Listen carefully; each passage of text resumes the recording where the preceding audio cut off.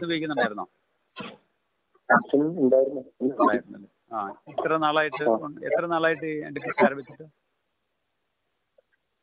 അത് രണ്ടു കൊല്ലായി. ഒരു രണ്ടു രണ്ടു മാസമായിട്ട് നിർത്തി. രണ്ട് രണ്ടു രണ്ട് വർഷമായി മാസമായി നിർത്തിയിട്ട്.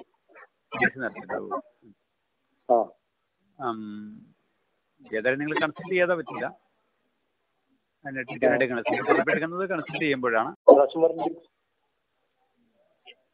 ഒരു രണ്ട് മൂന്ന് തവണയെങ്കിലും എടുക്കേണ്ടി വരുമായിരിക്കും. എന്തുവാ എന്തുമാത്രം ഉണ്ട്? എന്താണ് സിറ്റുവേഷൻ എന്ന് എനിക്ക് അറിയില്ല നോക്കിയാലേ അറിയത്തുള്ളൂ